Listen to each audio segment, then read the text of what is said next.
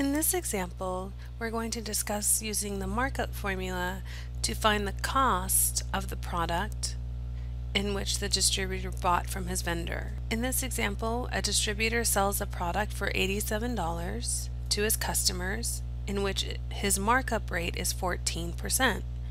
What is the cost of the product? Be sure to round your answer to the nearest cent. So he sells the product to his customers for $87 but that's not the price in which he bought the product from the vendor. So again, the selling price is always more than the cost of the product before the markup. So let's find that. So S is the selling price to the customer, which was $87. C is the cost of the product before the markup. Well, that's what we're trying to find, so we don't know. And the rate is the markup rate in which was given to us as 14% or we rewrite it as a decimal as 0.14. Again, moving the decimal over to the left twice. Alright, let's go ahead and plug these into our formula. S equals C plus RC.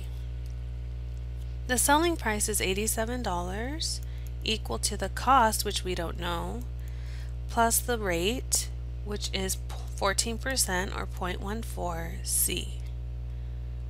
But if we look at this even closely, and let me rewrite it so maybe you can see it better.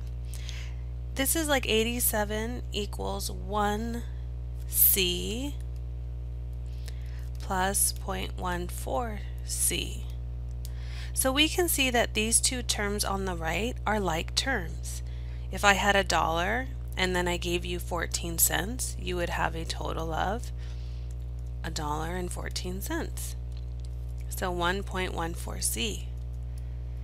So 1c plus 0.14 c's gives me 1.14c. And now we can easily solve for the cost by dividing each side by 1.14. And again, we're going to round to the nearest cent. So dividing 87 by 1.14, I'll go to my calculator and get 87 divided by 1.14 and this gives me 76.315 but this is a cost remember that the distributor will be purchasing from his vendor so we're going to round to the nearest cent which would be the hundreds place so we go ahead and look at the test digit 5 and so we'll have to round this one up to 2. So we're going to get 76.32. What does this mean? This means the cost is $76.32. Now recall that the selling price is always more than the cost of the product before the markup. So it makes sense why the cost is going to be less than the selling price of $87.